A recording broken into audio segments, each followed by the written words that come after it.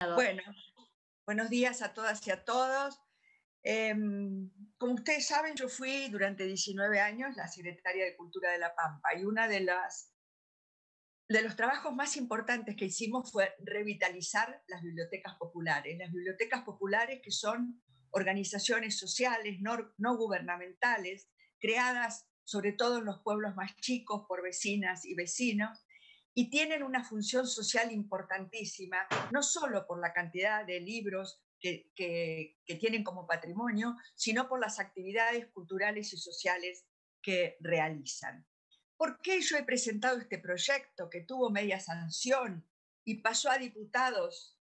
Y voy a ser respetuosa, pero como todo lo que pasa a diputados a veces se nos pierde, porque ya debería haber salido, lamentablemente, este, lo presento porque actualmente la situación ha cambiado y la mayoría de las provincias tienen subsidios para las bibliotecas populares para el pago de sus bibliotecarios.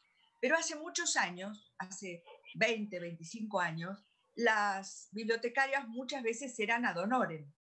Una biblioteca de La Pampa tuvo un problema con una bibliotecaria y la bibliotecaria consideró que habiendo estado trabajando a una donoren durante mucho tiempo en la biblioteca, se la tenía que considerar como empleada y le hizo un juicio a la biblioteca. Y tuvimos un problema, por suerte la justicia, pero si no nos embargaba este, e, el material bibliográfico, el inmueble. Por eso es que yo he presentado este proyecto, porque este es un tema que la mayoría de las bibliotecas del país que me conocen a través de la CONAVIP, eh, inclusive la, presidenta de la CONAVIP, eh, están preocupados porque salga esta ley, porque esto garantiza el patrimonio eh, bibliográfico, el, el, inventario informático, y la diferencia que tengo con Estela Maris, que espero nos pongamos de acuerdo, es que yo no creo que haya que embargar todo el inmueble, sino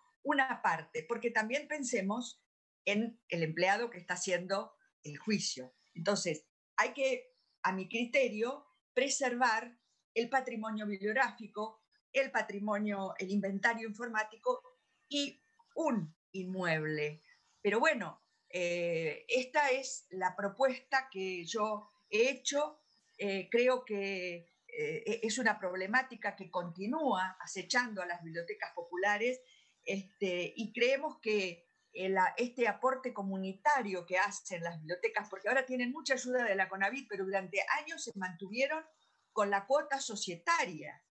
Es increíble, miren, eh, no quiero extenderme, pero en La Pampa los anarquistas fueron los que crearon las bibliotecas y en algunos casos hasta abajo de un árbol ¿eh? y juntaban a la gente a leer.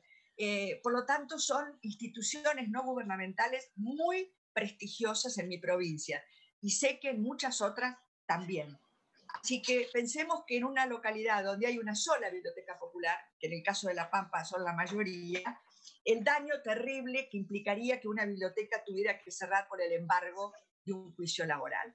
Así que, bueno, este es el fundamento del el proyecto de ley que incorpora como inciso H del artículo 5 de la Ley Nacional 23351 de Bibliotecas Populares el tema de la inembargabilidad y inejecutibilidad del patrimonio bibliográfico, del inventario informático y del único bien inmueble del que sea titular registral, siempre que el mismo se encuentre afectado a la consecución de su objeto social. Este es el texto que yo he presentado. Muchas gracias, Presidenta. Gracias, Norma.